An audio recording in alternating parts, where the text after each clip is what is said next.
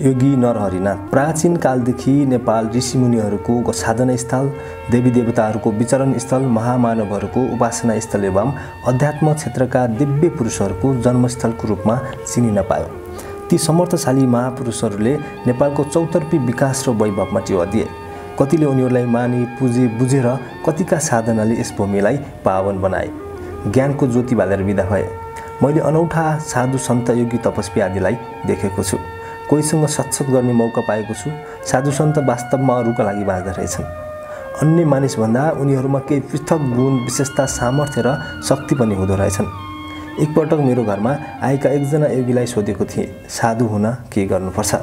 उहाँले भन्नुभयो योगीले भोक लाग्यो जाडो भयो गर्मी भयो भन्न मिल्दैन। काम क्रोध लोभ मोहको पछि लाग्न हुँदैन। उहाँले भनेका जस्ता योगीहरू असाध्यै कम पाइन्छन्। यी दुर्लभ साधुमध्ये मैले भेटेको र सत्सङ्ग गरेको साधु हुनुहुन्थ्यो योगी नरहरिनाथ। मेरा मित्र अदन सिंह कठायतजीसँग योगीजीको भेटघाट र चिन्जान रहेछ। कठायतजी जुम्ला र रमाकान्त नेउपाने त्रिवीकोटको राष्ट्रिय पञ्चायत सदस्य हुनुहुन्थ्यो। सिमाना मिलान गर्ने क्रममा डोल्पा जिल्लामा गाभियो। उहाँहरू दुवैजना मृगस्थली स्थित गोरखनाथ मठका महन्त क्षिप्रनाथलाई समय समयमा भेट्न जानुहुँदो रहेछ। एक दिन संयोगले म पनि उहाँसँगै मृगस्थली गएँ। क्षिप्रनाथ गुरुसँग कुराकानी गरियो। यही क्रममा उहाँका शिष्य एवं उत्तराधिकारी नरहरिनाथजीसँग परिचय भयो। क्षिप्रनाथले शिक्षा धर्म संस्कृति आदिमा ठुलो योगदान दिनुभएको थियो। उहाँ योग्य विद्वान हुनुहुन्थ्यो।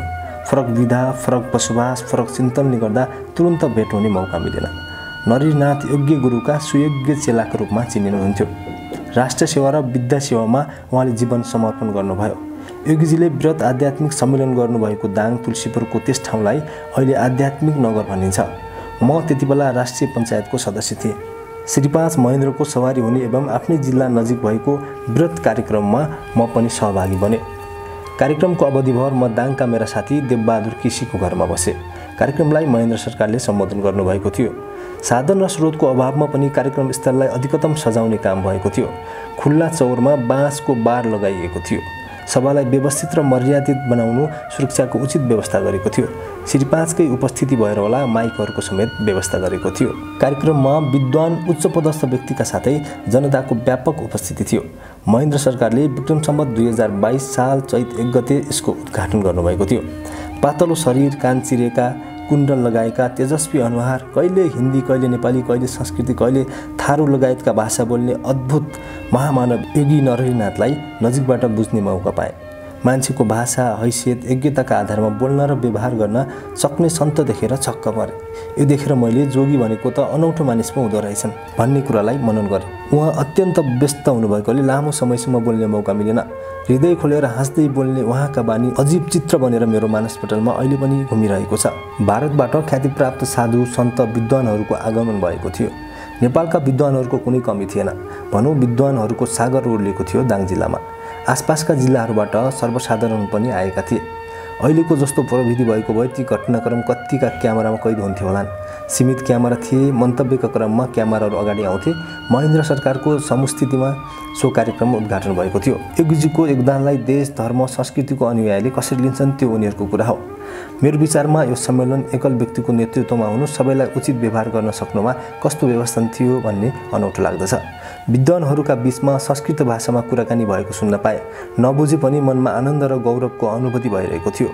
कार्यक्रम सकिएपछि उहाँले वृहत आकारको पुस्तक मेरो हातमा थम्याइदिनु भयो। त्यसको नाम थियो सन्धिपत्र सङ्ग्रह मलाई लाग्छ विभिन्न स्थानमा पुगेर शिलालेख अभिलेख भुज्रपत्र आदिको सत्य तथ्य सङ्कलन गरी तयार गरिएको यो नै इतिहासको पहिलो पुस्तक हुनसक्छ हरेक नेपालीको हातमा यो पुस्तक हुन र दैनिक पढ्न आवश्यक छ। नेपाली भएर नेपालै थाहा नपाउनु आफ्नो इतिहास नजान्नु कस्तो दुर्भाग्य। पुस्तकलाई पाल बाहिर राखेर महेन्द्र सरकारको दर्शनमा गएँ। आउँदा त पुस्तक कसले पो लगेछ? कता खोज्नु भयो। सानो आकार र कम मूल्यको किताब भए म फेरि माग्न मिल्थ्यो। यो पुस्तक बजारमा बिक्रीका लागि थिएन। उपहार हराएपछि के गर्नु? म काठमाडौँ फर्किएँ। त्यो कुरा युगीजीले कताबाट थाहा पाउनु भएछ। यसपछि पनि हाम्रो भेटघाट हुँदै रह्यो। म उहाँलाई असाध्यै श्रद्धा र विश्वास गर्दथेँ। युगजीकै सक्रियतामा दाङ जिल्लामा विक्रमसम्म दुई हजार चौबिस साल चैत एक गते विद्युत सम्मेलन आयोजना गरेको थियो। कार्यक्रम सम्बोधन गर्नका लागि महेन्द्र सरकार फाल्गुन तिस गते नै दाङ सवारी भएको थियो। कार्यक्रममा सहभागी बन्न चैत एक गते बिहानै झन्डै नौ बजीतिर भारतबाट करपात्री महाराज शङ्कराचार्य लगायत मूर्धन्य विद्वानहरू विमानबाट आउनुभएको थियो। करपात्री एवं शङ्कराचार्यको आसनलाई अग्लो बनाइएको थियो। उद्घोषकले आसन ग्रहण गराउँदा दिएको परिचय पनि बडो चाख लाग्दो थियो।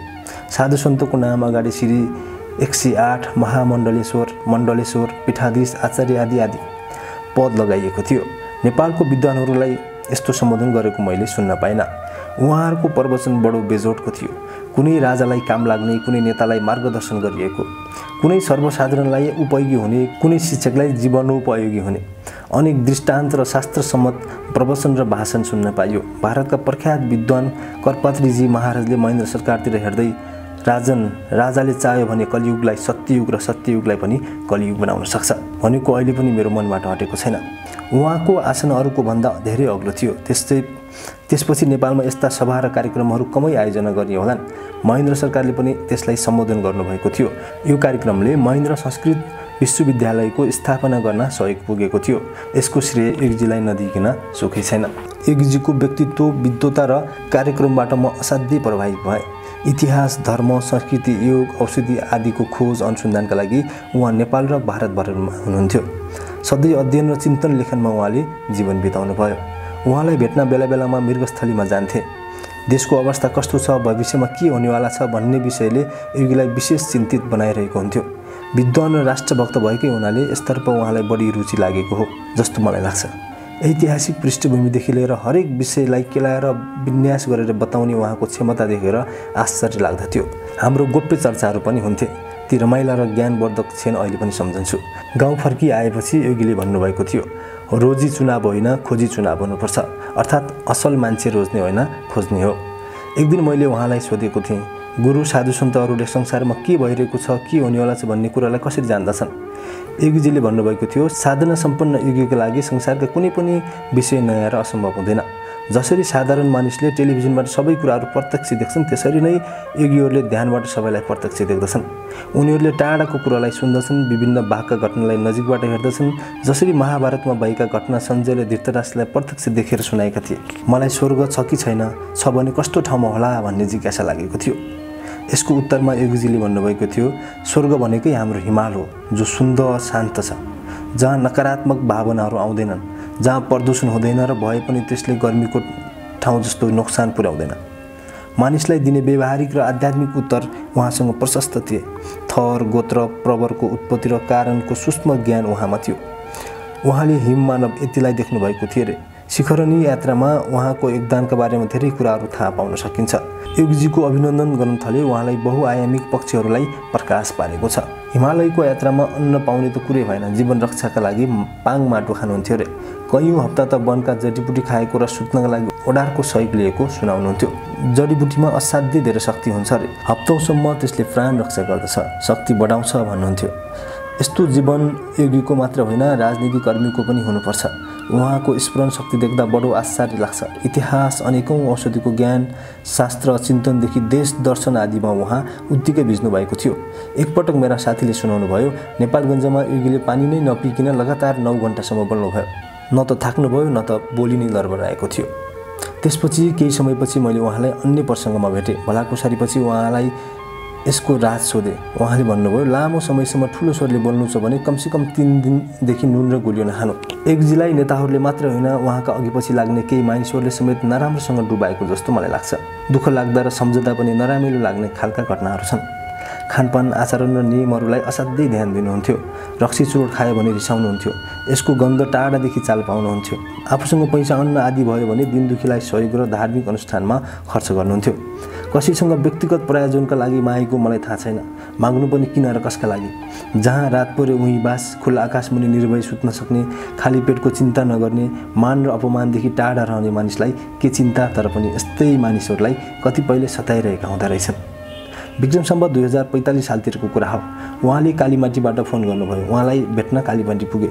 केही दुब्लो र कमजोर शरीरदेखि बिरामी पो पर्नु भएछ क्यारे जस्तो लाग्यो। भलाकुसारी सकेपछि उहाँले यो घरको मानिस रक्सी खाँदो रहेछ भन्नुभयो। मेरो घरमा पाउ कष्ट गर्न अनुरोध गरेँ। बाटोमा अनेक कुरा भयो। घर आएपछि कुराकानीको क्रममा उहाँ अलिक थाकेको जस्तो देखिनुभयो। मैले मिश्रीमतीलाई रोटी पकाउन लगाएँ। योगीजीले नुन नखानी भएकाले मह दिएँ। खाने बित्तिकै उहाँलाई निद्रा लागे जस्तो भएर मैले ओछ्यानमा सुत्न अनुरोध गर्दा मान्नु भएन सोफामै सुत्नुभयो। गाई दुहुने तर घाँस नहाल्ने परम्पराले एगिजी धेरै छिट्टो जानुभयो जस्तो मलाई लाग्छ। राजा महेन्द्रसँग एगिजीको राम्रो सम्बन्ध थियो जस्तो लाग्छ। एकपटक बसन्तपुरको कार्यक्रममा बसन्तपुरको नौतले दरबार देखाउँदै उपस्थित महानुभावहरूलाई भन्नुभएछ हेर्नुहोस् यो नौतले दरबारको माथिको तल्लाबाट राजाले जनताको घरमा धुवा आइ कि आएन हेर्न बनाएका थिए। राजा यति उदार स्वभावको हुनुपर्छ। अहिलेका राजा त सैनिकलाई सुरक्षा दिएर राखेका छन्। उनलाई जनताको घरमा धुवा आएको हेर्ने मौका नै छैन। यस्ता राजाले के भलो गर्छन् एगिजुको प्रवचन सुन्न दरबारका उच्च पदस्थ अधिकारीका साथै अन्य लब्ध प्रतिष्ठित व्यक्तिहरू पनि गएका रहेछन्। बेलुका एगिजीका कुरा त्यति बेलाका अञ्चलाधीश विष्णुमणि आचार्यले राजा कहाँ पुर्याएछन्? उनले एगिजीलाई तुरुन्तै नथुन्यो भने जनता भट्काउँछ भन्ने कुरा जाहेर गरेछन्। महेन्द्र सरकारले भन्नुभएछ म एगीलाई जान्दछु। एगीका लागि सबै समान हुन्छन्। उनीहरू राष्ट्रका गहना हुन् थुन्न हुँदैन छोडिदेऊ। एगुजीले जीवनभर कसैको नजिक हुने प्रयास वा कसैलाई रिझाउने काम गरेको देखिन। जो देख्यो सोही भनिदियो। यही कारणले उहाँ सच्चा योगी हुनुहुन्थ्यो। एगुजीले एक दिन मलाई मृगस्थलीमा बोलाउनु भयो। सामाजिक विषयमा कुरा भए। उहाँलाई भेट्न धेरै मानिसहरू आएका थिए। बिस्तारै सबै निस्किन थाले। म पनि बिदा माग्दै थिएँ। उहाँले एकछिन बस्नको लागि भन्नुभयो। सबैजना गइसकेपछि डोका लगाएर भन्नुभयो वीरेन्द्र अन्तिम राजा हो। अब नेपालमा राज संस्था रहँदैन। एगुजीको कुरा सुने मात्रै उत्तर दिन सकिनँ। त्यसको केही वर्ष बित्न नपाउँदै एगुजीले भनेको जस्तै दुर्भाग्यपूर्ण अवस्था देख्नु पर्यो। पछिल्लो समयसम्म उहाँलाई धर्म इतिहास र राजनीतिभित्र बढ्दै गएको विकृतिमाथि विशेष चिन्ता थियो। अपार स्रोत र साधना र सम्पदाले सम्पन्न भएर पनि गरिब भएकोमा दुःख मान्ने गर्नुहुन्थ्यो। युवाहरूलाई समय सन्दर्भ अनुकूल शिक्षा सरकारले दिन नसकेको विषयलाई प्रत्येक भेटमा दोहोऱ्याउनुहुन्थ्यो। एकपटक उहाँले मलाई मृगस्थलीमा बोलाउनु भयो। उहाँलाई सन्धिपत्र सङ्ग्रह नामको पुस्तक छपाउने इच्छा रहेछ। मलाई यो पुस्तक बिस हजार प्रति छाप्न भन्नुभयो। वृहत आकारको पुस्तक त्यसमाथि पनि त्यति धेरै छाप्दा त निकै खर्च लाग्ने भयो। त्यो मेरो क्षमताको विषय थिएन। योगीजीको व्यावसायिक लक्ष्य पनि थिएन। मानिसहरू निशुल्कमा पाए लैजाने तर किनेर नलैजाने। योगी पैसा नलिने प्रवृत्तिको म जानकार थिएँ। मैले बाह्र सय मात्र छाप्न अनुरोध गरेँ। छापिएपछि केही प्रति उहाँ कहाँ पुऱ्याएँ? उहाँले त्यो पुस्तक उचालेर आफ्नो छातीमा राखेर खुसी हुनुभयो। उहाँको समाधि मन्दिर बनाउँदा मैले एक सय पचपन्नवटा पुस्तक समाधि समितिलाई दिएको थिएँ। विद्या दान नै ठुलो दान हो भनेर यो पुस्तक छपाएको थिएँ। मैले पनि आफ्नो जाने बुझेका र त्यसका मर्मज्ञलाई बाँडे भनौँ र एक प्रकारले दान दक्षिणमा नै लगाएँ। योगीजीको केही घटना एवं उहाँका क्षणहरू देखेर दुःख पनि लाग्छ हाँसो पनि उठ्छ। गुरुले मृगस्थलीमा कोटियम गर्नुभएछ। दुईजनालाई चन्दा उठाउने जिम्मा दिनुभएछ। उनीहरूले तिस हजार उठाएछन् त्यसका लागि उनीहरूले छत्तिस हजार खर्च गर्नु परेछ। यज्ञमा बोलाएका ब्राह्मणलाई के दिएर विदा गर्ने मलाई बोलाएर त्यो उठाउँदाको खर्च देखाउनु भयो सबै हेरिसकेपछि कता हेर्नु के बोल्नुमा पर्यो यज्ञमा होम्ने चौर पनि छैन। मैले गाडीमा हालेर आवश्यक पर्ने सामग्री पुर्याइदिएँ। मैले दिएको बाटो सम्पूर्ण काम पुरा नभएपछि बलबहादुरजीको पनि सहयोग लिनुभएछ। त्यसबेला बलबहादुर केसी मन्त्री हुनुहुन्थ्यो। उहाँलाई फोन गरेर योगीजीले भेट्न कसैले भनिदिएछ? उहाँ गएर एक लाखको चेक दिनुभएछ। आसीपासीले त्यसलाई पनि स्वाहा बनाइदिएछन्। योगीजी साँच्चैका शिवजी हुनुहुन्थ्यो। उहाँसँग ब्रह्मा विष्णु ऋषिमुनि मात्र होइन भृङ्गी पिसास पेताल भूत आदि पनि थिए। अचम्मको क्षमता हो उहाँको। सबैलाई उस्तै व्यवहार गर्नुहुन्थ्यो। उहाँ मेरा श्रद्धेय गुरु हुनुहुन्छ। मान अपमानभन्दा माथि बसेर जे गर्नुभयो त्यो उदाहरणीय छ। अब कुन युगमा कसले कस्तो कार्य गर्न सक्छ भन्न सकिँदैन। मेरो कामना छ उहाँ जस्तो महापुरुषले नेपालमा फेरि पनि जन्म लियो संक्षिप्त जीवनी आज हामीले तपाईँहरू माझमा प्रस्तुत गऱ्यौँ ऐतिहासिक घटनाक्रम भाग एक किताबबाट लिएको यो जीवनी पूर्व उद्योग मन्त्री बालराम घरती लेख्नु भएको हो।